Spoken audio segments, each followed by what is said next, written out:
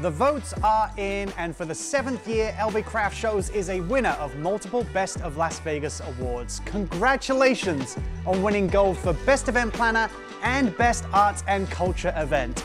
Join the Tivoli Nutcracker Night Market this Friday and Saturday from 4 p.m. to 8 p.m. They will have horse carriage rides, a Nutcracker string trio, vendors, and food. Then join LV Craft Show's final event of the year this Sunday at Silverton Casino's Veil Pavilion from 10 a.m. to 4 p.m. The 13th annual Craft Mania is an indoor and outdoor event with close to 80 artists and vendors. They'll be showcasing some amazing crafts, gifts, and perfect stocking stuffers.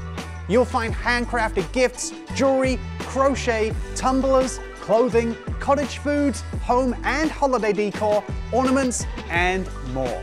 You can even have them customized for you.